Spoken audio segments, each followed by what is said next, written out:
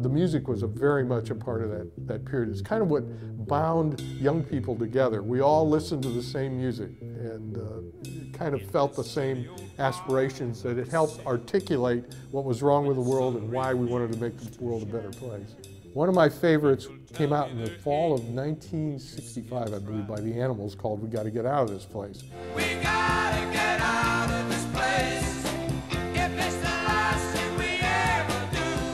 And initially, it became the unofficial song of finals week. You'd go during after your finals were done, go to a campus bar, put that in the jukebox, and blast it out. Yeah, we're gonna get out of this. You know, and we thought, as a student, we thought, you know, going through finals, we were really an oppressed class and all that.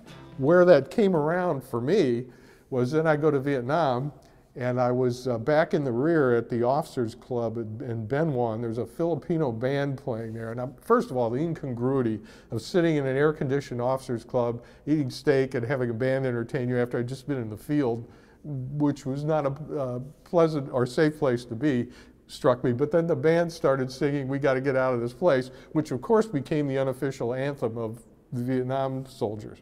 I got to get out of this place, obviously. and I'm leaving on a jet plane. I'm a leaving on a jet plane. I don't know when I'll be back again.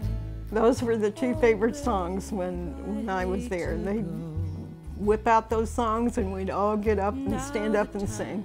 Has come to leave you one more time. Let me kiss you then close your eyes, I'll be on my way. The lions sleep tonight. I can hum it, I don't know all the words, but it goes. The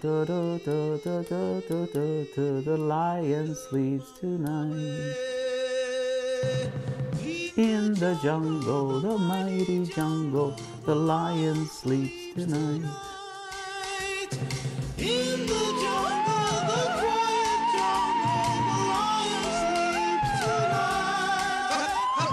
The the guys would go around singing that song. Of all places, we're in the jungle. And I said, really? You're going to sing that song? So that was, we used to come out humming it. One guy would start, and next thing you know, we had a whole group of guys just humming that song.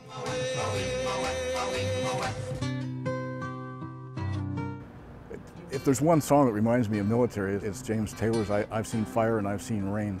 I've seen fire and I've seen rain seen sunny days that I thought would never end. I recently went to the funeral of a young Marine that was killed in Afghanistan, and they played that, and I just cried. And every time I hear that, I think, I've seen fire and I've seen rain. I didn't know when I was going to see you again, and that one brings me to tears.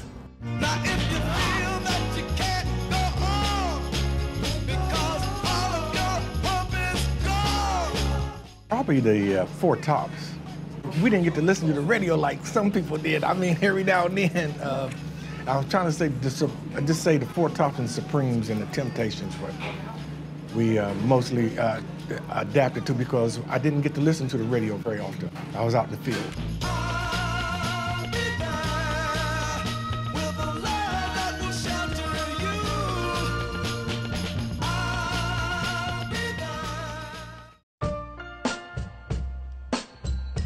I'm Your Puppet. Uh, uh, that was sent to, to me. I remember um, the Five Stairsteps and their music. But the one that was top was Lou Rawls Live. The album Lou Rawls Live. That was it. Music was part of our therapy even in uh, Vietnam. There were songs that I'll always associate with uh, Vietnam, including Creedence Clearwater Revival, Bad Moon Rising, Rolling Stones, some of their early hits. And when I hear those songs, of course, it's a trigger, but not a negative trigger because th that was a positive uh, part of Vietnam, the music.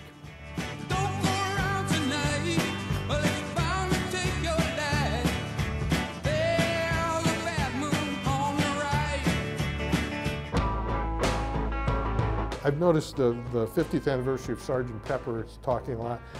How fascinating it was every time a new Beatles album came out, everybody got psyched up. Who could get to the record store first to buy the new Beatles album and play it. And I remember hearing those albums as they came out. And at, when I first heard Sgt. Pepper, I wasn't sure about it because I was I kind of liked the earlier Beatles up up tempo type stuff. But as time has gone on, I've really learned to appreciate how much their music set the tone for that whole period. In a way, there was kind of a hostile takeover of pop culture by young people in the 60s, particularly young people in college. And the music was a big way. Part of the appeal of the music was that you liked it. Part of the appeal was your parents didn't. And it was a way to kind of establish a sense of generational identity.